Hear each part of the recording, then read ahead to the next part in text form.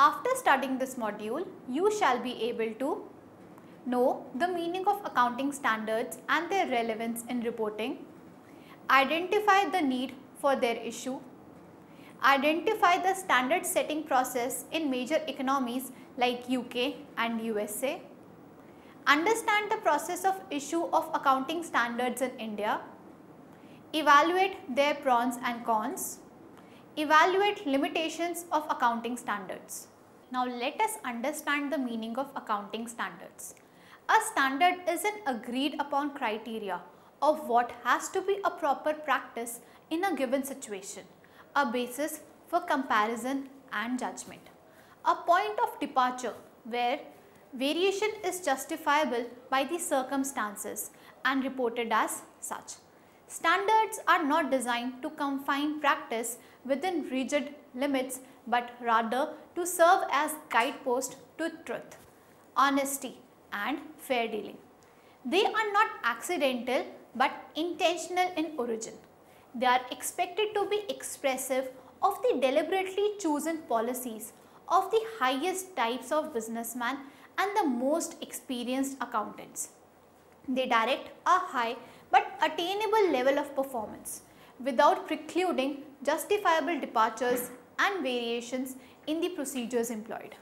Accounting standards deal mainly with financial measurements and disclosures used in producing a collection of fairly presented financial statements. The standards that are not acceptable cannot be passed on as enforcement and thus such unenforced standards are not valid. Hence, standards should be enforced with compulsion so that they hold the true meaning of their existence. Accounting standards are structured policy documents issued either by an already appointed accounting authority or the government or through other regularity body encompassing the elements of recognition, covering the aspects of recognition, calculation, presenting and disclosing one's accounting transactions with the help of financial statements. The primary significative motive of these bodies which set standard is the collection of data regarding the financial position and health of a company which of great concern to shareholders and other investors and maybe others who find this data very useful. These standards set fixed procedures for collection of financial data. They set formats and provide a basic outline that is similar and easy to understand and compare while understanding similarities. By employing the set accounting standards, we can ensure limited options in preparation of financial statements, thus bringing out rationality to ensure comparability of statements of different companies. Accounting standard deal with the issues of first identification of events and transactions in the financial statements. Second, quantification of these transactions and events. Third, presentation of all relevant transactions and events in the financial statement in such a way that is easily interpretable by the reader.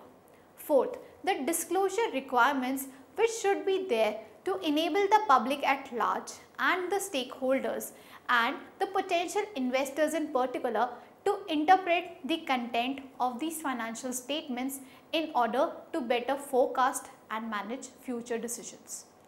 Accounting standards encompass various accounting policies with a view to first enable comparability of financial statements so that it becomes a reliable measure of overall financial know-how of a company. Second, state a set of standard accounting policies, valuation conventions and disclosure requirements. Now, who should set standards? Here is a brief discussion on who should set accounting standards. The first is government, the second private sector and the third agency. The arguments for government as standard setter.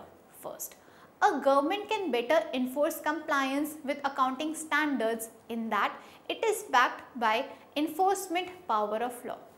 Accounting standards have a force of law, therefore should be established by a government. Second, Non-compliance and explicit criticisms by business enterprises create difficulties in the enforcement of standards. Governments who command a reasonable majority may promulgate those accounting reforms which they desire without measure and costly consensus seeking activity. Third, government should better bring the variety of intellectual disciplines that should be brought to bear on accounting standards. Economics, lawyers, investments as well as, I repeat, investors as well as accountants.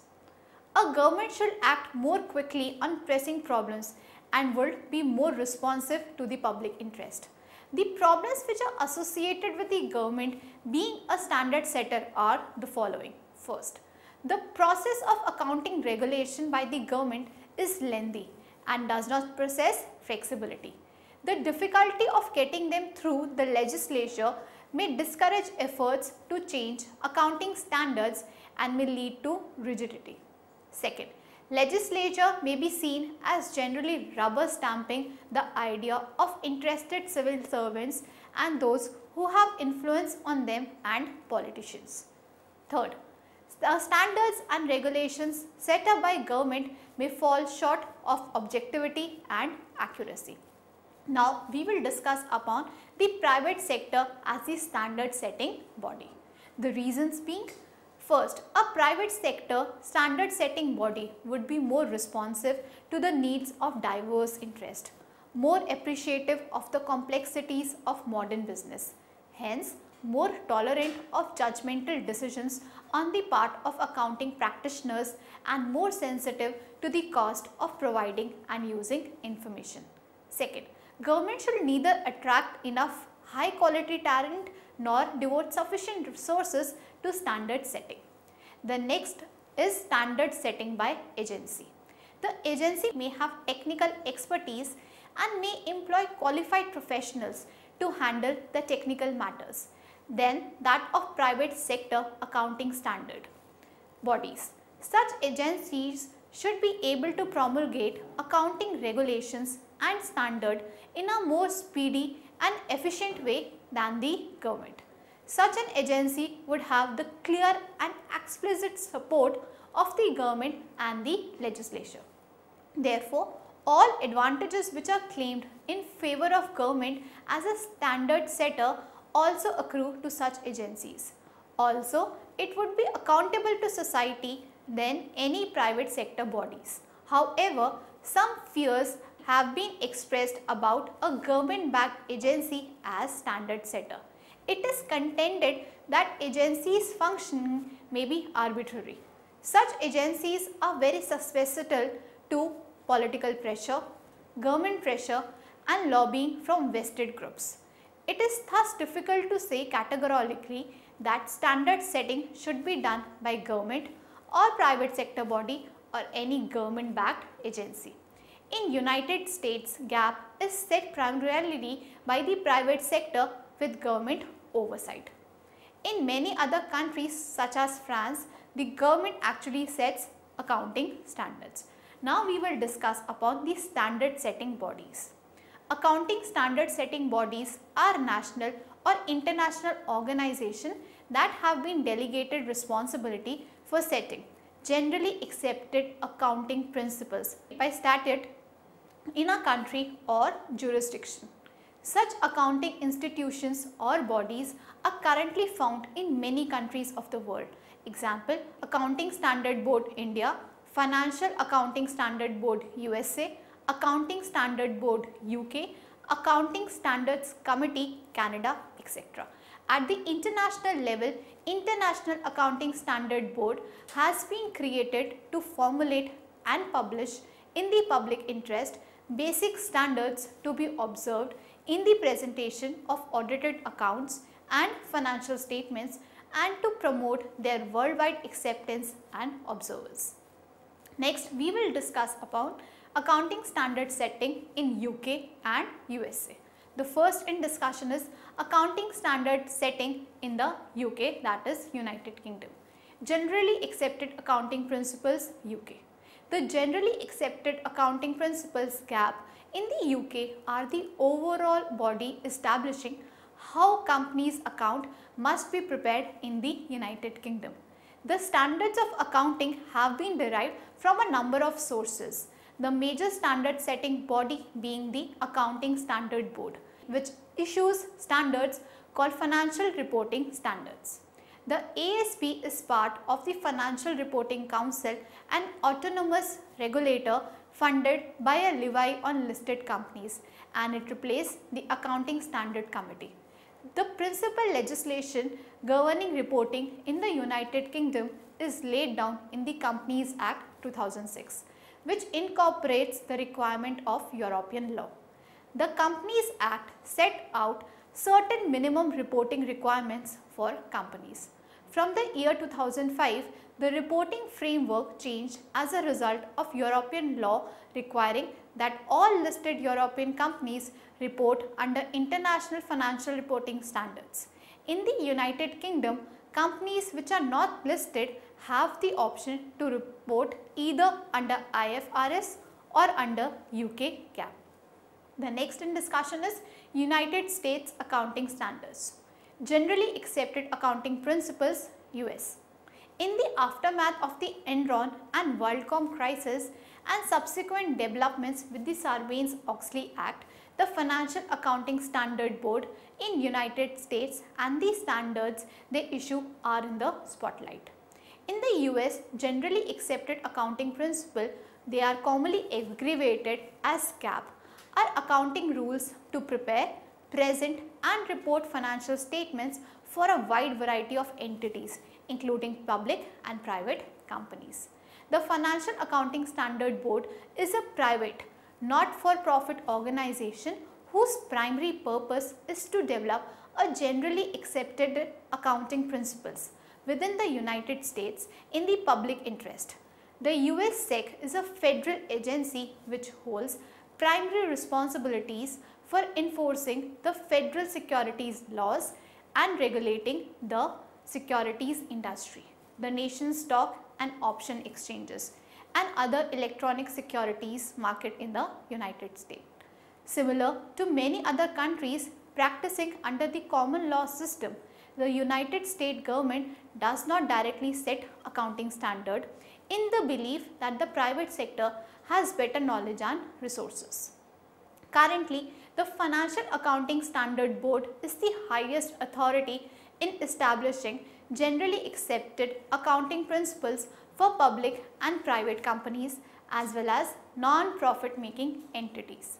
For local and state government, GAAP is determined by the Governmental Accounting Standard Board which operates under a set of assumptions, principles and constraints different from those of standard private sector GAAP. Financial reporting in federal government entities is regulated by the Federal Accounting Standards Advisory Board. The US GAAP provisions differ from the International Financial Reporting Standards though the former Security and Exchange Commission Chairman Chris Cox has set out a timetable for all the US companies to drop the GAAP and switch to IFRS. Now let us discuss accounting standard setting in India. The Institute of Chartered Accountants of India being an important accounting body in the country took upon itself the role of leadership by establishing the Accounting Standard Board in the year 1977. The ICAI has taken certain important initiatives in the making and issuing procedure of standards of accounting to ensure that the process of standard setting is fully transparent and consultative. The ASB takes into account the international accounting standards, international financial reporting standards while setting Indian accounting standards and try to combine them in the light of the applicable customs, law, business environment and usages in the country. The ASB comprises of spokesperson of industries namely CII, FICCI, ASSOCHAM, academicians, government, department, regulators, etc. Although ASB is a body constituted by the council of the ICAI, it is an independent in the construction of standards of accounting and Council of the ICAI does not have the power to make any changes in the draft standard of accounting prepared by ASB without consultation of the ASB. The procedure of standard setting of Accounting Standard Board is as follows. Identification of wide areas of ASB for formulation of accounting standards. Formulation of study groups by ASB for consideration of certain specific projects and to prepare preliminary drafts of the proposed accounting standards. The draft usually includes scope and objective of the standards, definitions of the terms which are used in the standard, measurement and recognition principles wherever they can be applied and presentation and reporting requirements. Consideration of the preliminary draft developed by the study group of ASB and modification, if any, of the draft based on the deliberations. Circulation of draft of standard of accounting after modification by ASB to the council members of the ICAI and specified outside bodies such as Department of Company Affairs, Securities and Exchange Board of India, Comptroller and Auditor General of India, Central Board of Direct Taxes, Standing Conference of Public Enterprises for their valuable comments meeting with the representatives of the certain specific outside bodies to find out their views on the draft of the proposed standard of accounting. Finalization of the exposure draft of the suggested accounting standard and its issuance which invites comments of the public. Consider comments received on the exposure draft and finalizing the draft standard accounting by the ASB for submitting it to the Council of the ICAI for its approval and consideration for issuance. Consideration of the final draft of the proposed standard by the Council of the ICAI and if found necessary, modification of the draft in consultation with ASB is done. Now we will discuss upon the benefits of accounting standards. Accounting standards seek to explain the principles of accounting, the techniques of valuation and the methods of application of the accounting principles in the preparation and reporting of financial statement so as to give a fair and true view. By setting the standards of accounting, the accountant has following advantages. The first, standardization of alternative accounting treatments.